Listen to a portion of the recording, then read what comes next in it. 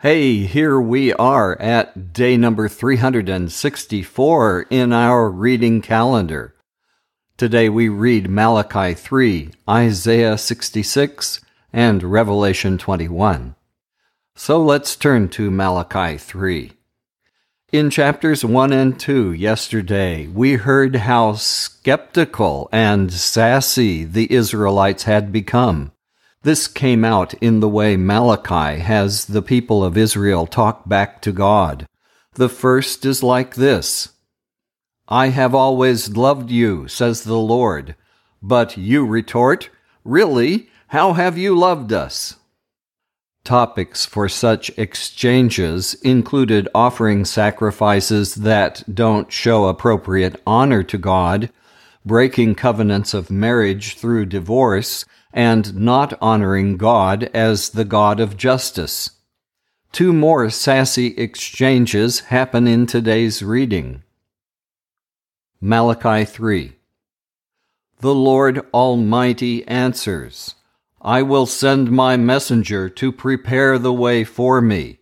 Then the Lord you are looking for will suddenly come to his temple the messenger you long to see will come and proclaim my covenant.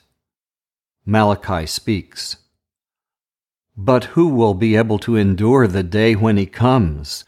Who will be able to survive when he appears? He will be like strong soap, like a fire that refines metal. He will come to judge like one who refines and purifies silver. As a metal worker refines silver and gold, so the Lord's messenger will purify the priests, so that they will bring to the Lord the right kind of offerings. Then the sacrifices which the people of Judah and Jerusalem bring to the Lord will be pleasing to him, as they used to be in the past.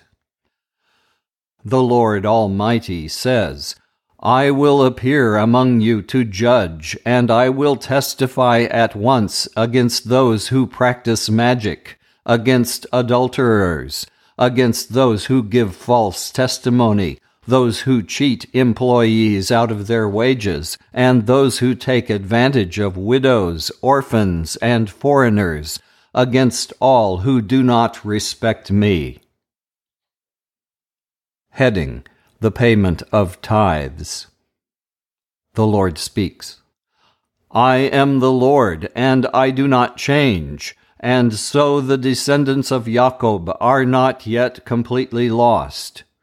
You, like your ancestors before you, have turned away from my laws and have not kept them. Turn back to me, and I will turn to you. But you ask, What must we do to turn back to you? I ask you, is it right for a person to cheat God? Of course not, yet you are cheating me. How, you ask? In the matter of tithes and offerings. A curse is on all of you because the whole nation is cheating me. Bring the full amount of your tithes to the temple so that there will be plenty of food there Put me to the test, and you will see that I will open the windows of heaven and pour out on you in abundance all kinds of good things. I will not let insects destroy your crops, and your grapevines will be loaded with grapes. Then the people of all nations will call you happy, because your land will be a good place to live. Heading God's Promise of Mercy. You have said terrible things about me, says the Lord. But you ask, What have we said about you? You have said, It's useless to serve God. What's the use of doing what he says or of trying to show the Lord Almighty that we're sorry for what we have done? As we see it, proud people are the ones who are happy Evil people not only prosper, but they test God's patience with their evil deeds and get away with it. Malachi speaks. Then the people who feared the Lord spoke to one another, and the Lord listened and heard what they said. In his presence there was written down in a book a record of those who feared the Lord and respected him. The Lord Almighty says, They will be my people. On the day when I act, they will be my very own. I will be merciful to them as parents are merciful to the children who serve them. Once again, my people will see the difference between what happens to the righteous and to the wicked, to the person who serves me and the one who does not. Now let's turn to Isaiah 66. I highlight verse 17 from chapter 65 as it foreshadows what we will read in Revelation today and tomorrow. Verse 17 says, Look, I am creating new heavens and a new earth, and no one will even think about the old ones anymore. And I believe that these moving verses from that same chapter portray the torment of the lake of fire. And so I tell you that those who worship and obey me will have plenty to eat and drink, but you will be hungry and thirsty. They will be happy, but you will be disgraced. They will sing for joy, but you will cry with a broken heart. Isaiah 66 Heading The Lord judges the nations.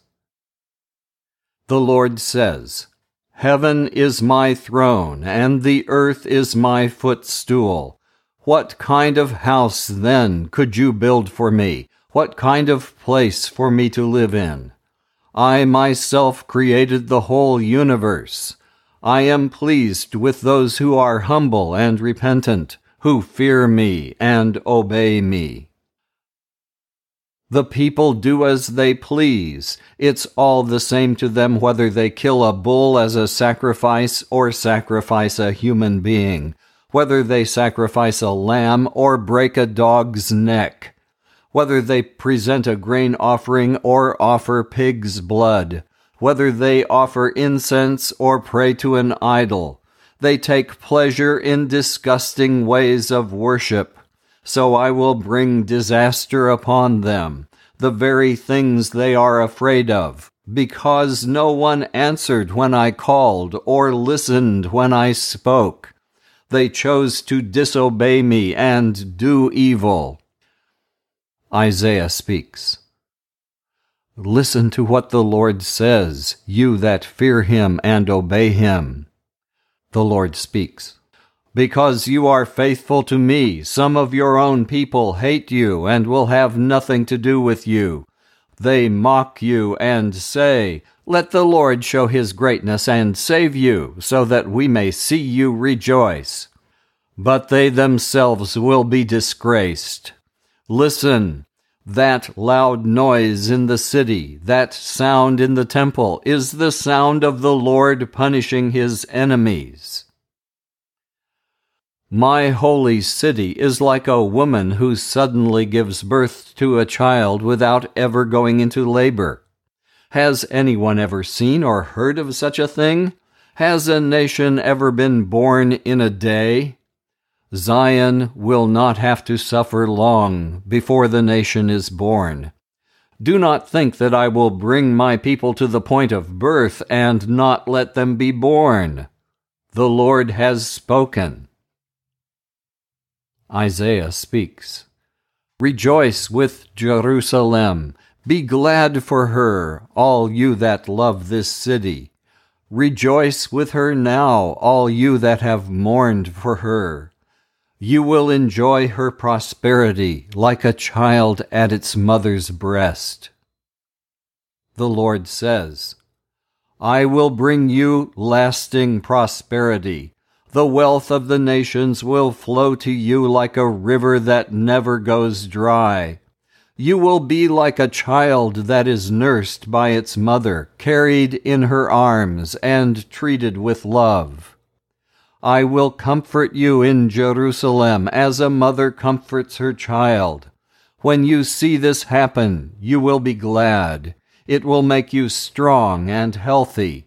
Then you will know that I, the Lord, help those who obey me, and I show my anger against my enemies. Isaiah speaks. The Lord will come with fire. He will ride on the wings of the storm to punish those he is angry with. By fire and sword he will punish all the people of the world whom he finds guilty, and many will be put to death. The Lord says, The end is near for those who purify themselves for pagan worship who go in procession to sacred gardens, and who eat pork and mice and other disgusting foods. I know their thoughts and their deeds. I am coming to gather the people of all the nations. When they come together, they will see what my power can do, and will know that I am the one who punishes them. But I will spare some of them and send them to the nations and the distant lands that have not heard of my fame or seen my greatness and power, to Spain, Libya, and Lydia with its skilled archers, and to Tubal and Greece. Among these nations they will proclaim my greatness. They will bring back all your people from the nations as a gift to me. They will bring them to my sacred hill in Jerusalem on horses, mules, and camels, and in chariots and wagons, just as the Israelites bring grain offerings to the temple in ritually clean containers. I will make some of them priests and Levites. Just as the new earth and the new heavens will endure by my power, so your descendants and your name will endure.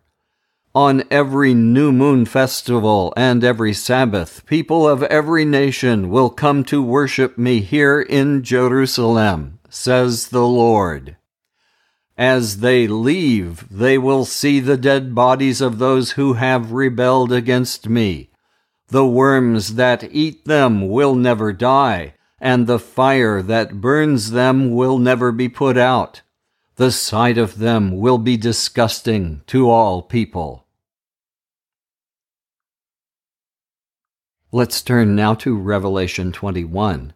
In chapter 20, we read about the millennium or the thousand year reign of Christ, the defeat and imprisonment of Satan, his brief release following the thousand years, and his eventual eternal judgment in the lake of fire.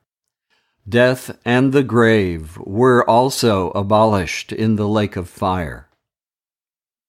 Revelation 21 Then I saw a new heaven and a new earth. The first heaven and the first earth disappeared, and the sea vanished. And I saw the holy city, the new Jerusalem, coming down out of heaven from God, prepared and ready like a bride dressed to meet her husband. I heard a loud voice speaking from the throne. Now God's home is with people. He will live with them, and they shall be his people. God himself will be with them, and he will be their God. He will wipe away all tears from their eyes. There will be no more death, no more grief or crying or pain. The old things have disappeared. Then the one who sits on the throne said, and now I make all things new. He also said to me, Write this, because these words are true and can be trusted. And he said, It is done. I am the first and the last, the beginning and the end. To anyone who is thirsty, I will give the right to drink from the spring of water of life without paying for it. Those who win the victory will receive this from me. I will be their God, and they will be my children.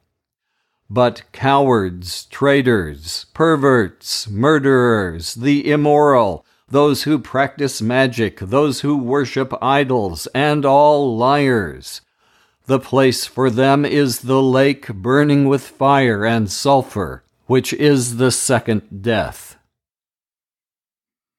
One of the seven angels who had the seven bowls full of the seven last plagues came to me and said, Come, and I will show you the bride, the wife of the Lamb. The Spirit took control of me, and the angel carried me to the top of a very high mountain. He showed me Jerusalem, the holy city, coming down out of heaven from God and shining with the glory of God. The city shone like a precious stone, like a jasper, clear as crystal. It had a great high wall with twelve gates and with twelve angels in charge of the gates.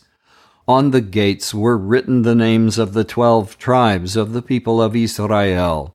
There were three gates on each side, three on the east, three on the south, three on the north, and three on the west. The city's wall was built on twelve foundation stones, on which were written the names of the twelve apostles of the Lamb. The angel who spoke to me had a gold measuring stick to measure the city, the gates, and its wall. The city was perfectly square, as wide as it was long. The angel measured the city with his measuring stick it was fifteen hundred miles long and was as wide and as high as it was long. The angel also measured the wall, and it was 216 feet high according to the standard unit of measure which he was using. The wall was made of jasper, and the city itself was made of pure gold, as clear as glass. The foundation stones of the city were adorned with all kinds of precious stones.